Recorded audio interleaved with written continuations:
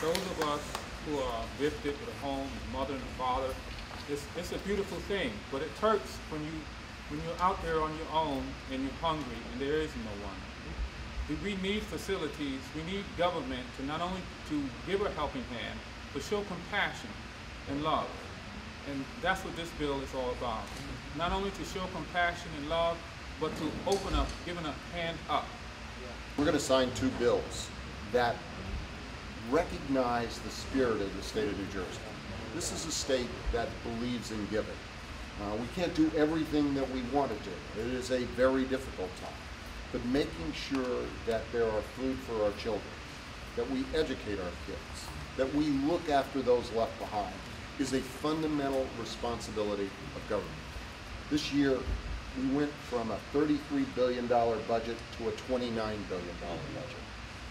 But we increased funding for food programs by $4 million. There's a reason, because we believe in looking after the most vulnerable, and we believe in educating our children so they have a brighter future. If we don't do the things that are responsible, even when the pie is shrinking, we're really letting down people. And the two bills I'm signing today are extraordinary. One of them uh, is to set up a trust fund for our counties to administer, to make sure that we're setting aside, or at least giving the option of setting aside the kinds of resources that can be put into home, to homes for the homeless, into a trust fund that serves the needs of people who are completely left out. The second bill really goes to the heart of the soul and the nature of who we are as a people. You know, some of us are fortunate. We have jobs, we're working, we even pay taxes, and we get refunds sometimes. We should give our citizens a chance. Well, now with your tax returns, you can opt to say, we'd like to dedicate a portion of that to feeding the poor in the state of New Jersey. It's the most important aspect of this is to put money into our, our feeding of those who are left behind.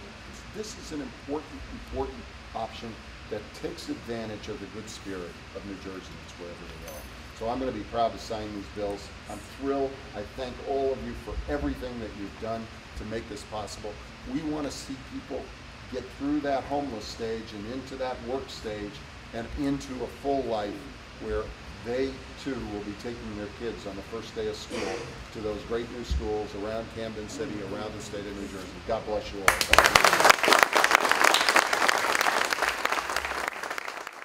Great job, everybody. Thank you, legislators. Thank you.